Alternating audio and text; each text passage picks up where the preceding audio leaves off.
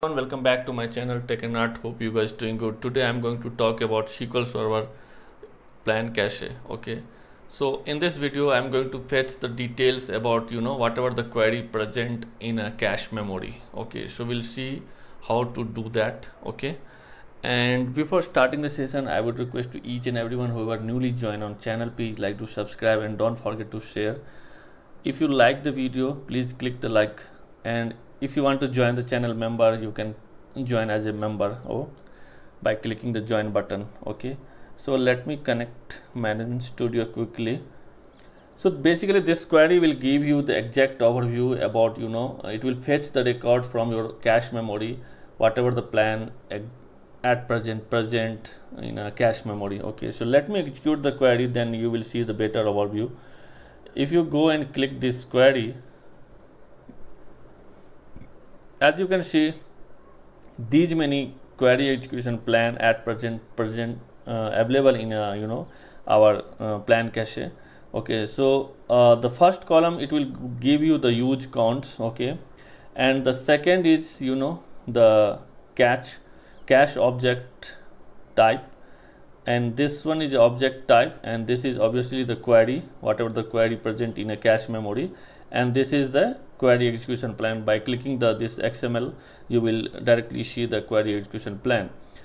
So these many queries at present present in this sql server instance 01 okay? So this is the query execution plan. You can see you can say that you know uh, at present in your cache memory. So let me talk about here the object type. So as you can see uh, ad hoc. Ad hoc means you know uh, this is recently executed okay.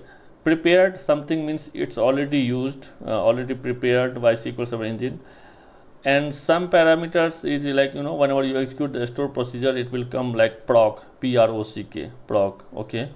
If you go and execute one of the store procedure let me execute one store procedure then you can see the difference. Execute one store procedure just for a try okay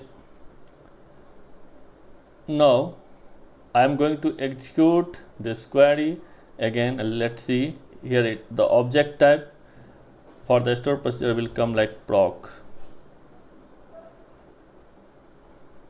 If you go down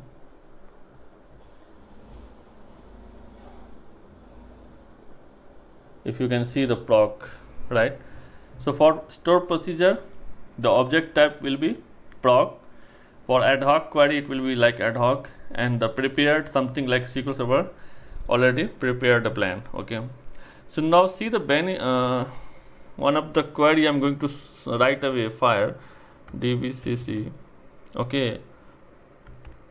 Now I'm going to clean the buffer memory okay? Let's see the difference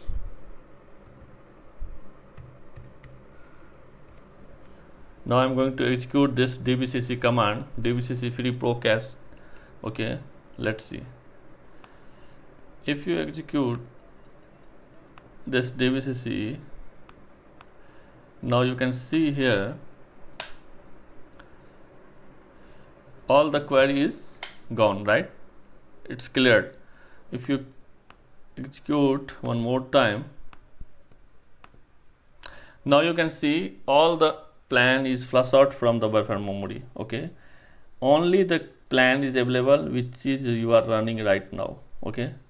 This query only the select cpu user count so basically this dbcc cache is cleaning your buffer memory whatever the plans available in a buffer memory this dbcc free is cleaning.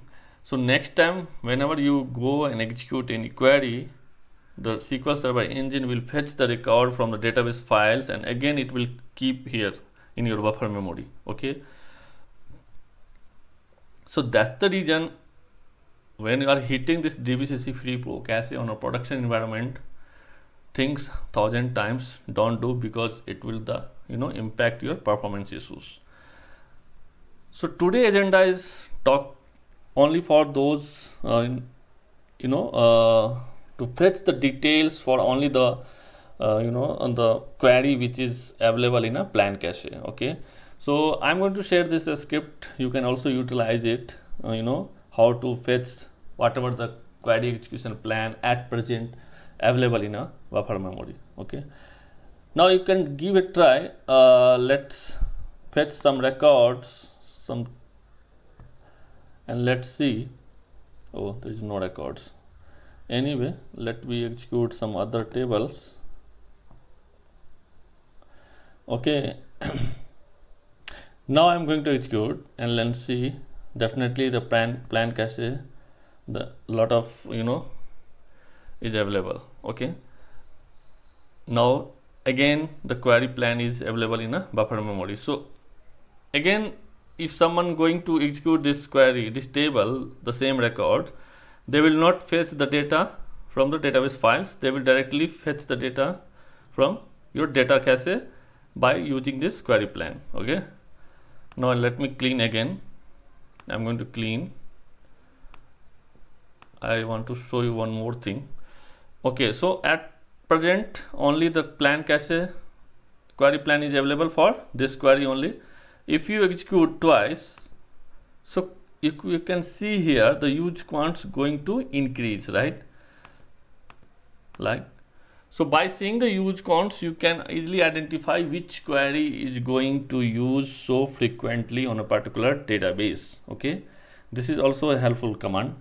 By seeing these use counts you can easily identify which query plan is going to use so frequently okay if you execute one more time see six times it's ex executed okay?